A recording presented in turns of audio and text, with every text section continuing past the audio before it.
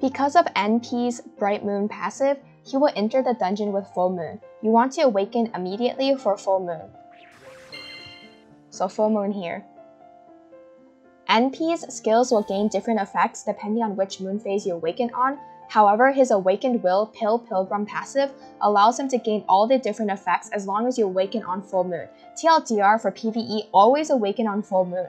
For more information on Noah's character system, please refer to the guide linked in the description.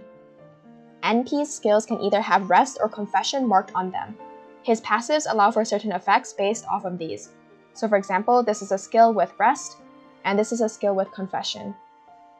NP's skills can also have Blessing of Moonlight marked on them. His passives allow for certain effects based off of these. So now I want to talk about support skills that you would bring on NP for Rosso Raid. As a disclaimer, for Rosso Raid, it is assumed you awaken on full moon and continue to awaken on full moon. Therefore, all skills are listed factoring in both moon's protection effects. So the first skill I want to talk about is the hour between dog and wolf. The skill trait you want on this is light.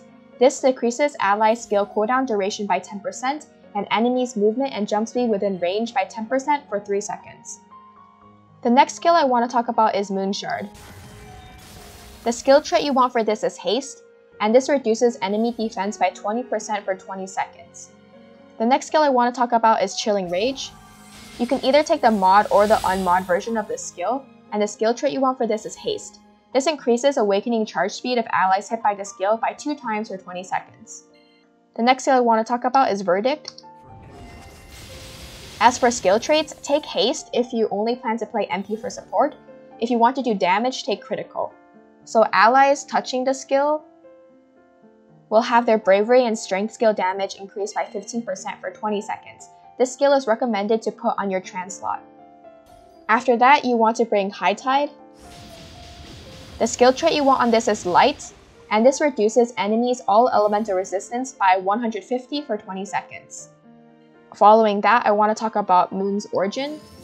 The skill trait you want for this is Haste, and this instantly recovers 30% HP and MP of allies in the Moon's range and applies the Origin of the Moon buff that allows for 5% HP MP recovery per second and also 1% HP absorption on hit with commands and actives for 6 seconds. This skill is recommended to put on your trans slot. The next skill I want to talk about is Glacier. So the skill trait you want for this is Haste, and this freezes enemies for 5 seconds. This skill is a one-hit freeze skill, meaning you can chain it with water orbs, etc.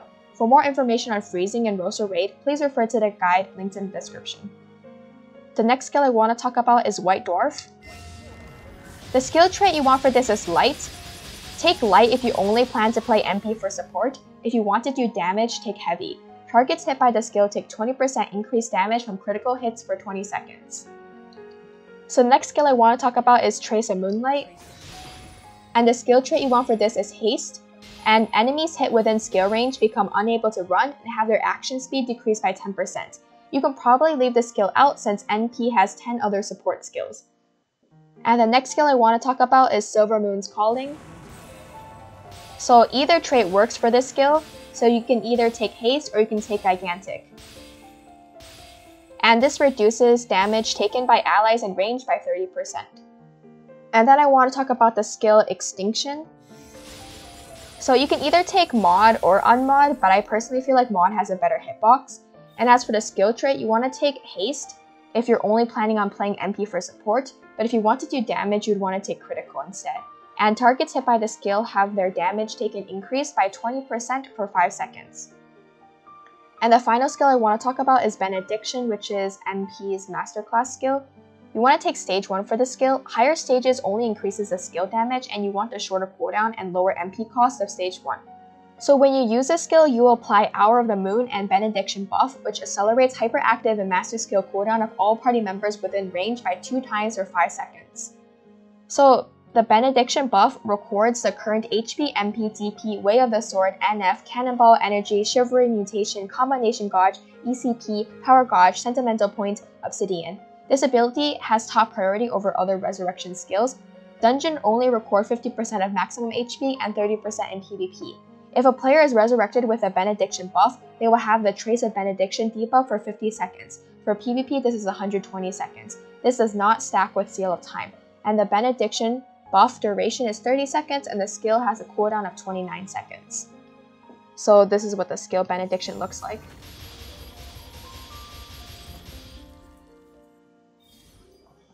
And finally, there are two passives that I want to talk about that I haven't mentioned yet in this video that I think you should be aware of.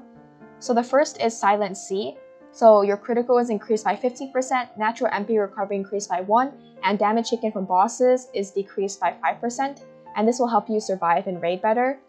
And then finally, I want to talk about Salvation. So you can activate Salvation by pressing the V key while awakened with Full Moon. So Salvation will recover allies' awakening and also recover allies' special resources. And the reactivation cooldown is 30 seconds.